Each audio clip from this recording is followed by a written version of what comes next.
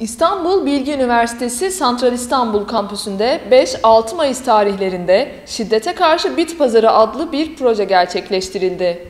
İstanbul Bilgi Üniversitesi Psikoloji Bölümü öğretim görevlisi Ayten Zara Page önderliğinde gerçekleştirilen pazarda ikinci el eşyalar satıldı. Psikoloji bölümü son sınıf öğrencilerinin oluşturduğu şiddet ve travmayı önleyici çalışma grubu Bilgi Açık Kapı'nın düzenlediği bit pazarından elde edilen gelir Mor Çatı ve Umut Çocukları Derneği'ne bağışlanıyor. Bilgi Açık Kapı e, grubu e, şiddet ve travma ile ilgili e, halkı bilinçlendirmeye yönelik çalışmalar yapıyor. Proje kapsamında öğrenciler kendi eşyalarını getiriyorlar burada. Evde kullanmadıkları herhangi bir eşya olabilir. E, işte mutfak eşyası, takılar, giyim, kıyafet, e, işte ev eşyası ile ilgili herhangi işte kitaplar e, bunları getiriyorlar, satıyorlar ve sattıkları e, e, eşyalardan kazandıkları parayı da Mor Çatı ve Sokak Çocukları, Umut Sokak Çocukları Derneği'ne bağışlayacaklar. Yani şiddete karşı bit pazarı böyle bir eylem. Hiçbir şey yapmasak bile burada bir bir pazar açıyor olmamız şiddete karşı bence önemli bir farkındalığı artırıcı girişim diye düşünüyorum.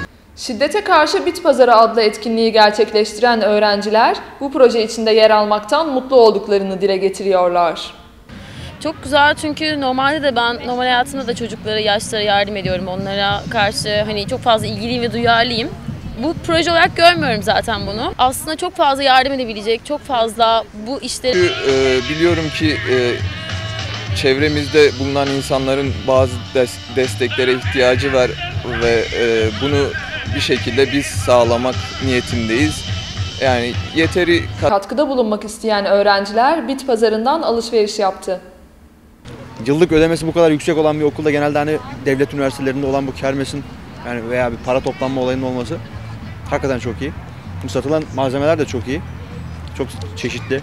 DVD'ler var 2 milyon. Kek yiyorum 500 bin. Güzel yani. Kermes gayet güzel yani daha önce iki tane özel üniversite okudum. Daha önce hiç böyle bir etkinlik görmemiştim zaten özel üniversiteler içerisinde. Onun dışında yani yardım amaçlı olması tabii ki çok güzel. Satılan ürünler çok güzel. İstanbul Bilgi Üniversitesi öğrencilerinin hazırladığı Şiddete Karşı Bit Pazarı projesine halk da büyük ilgi gösterdi.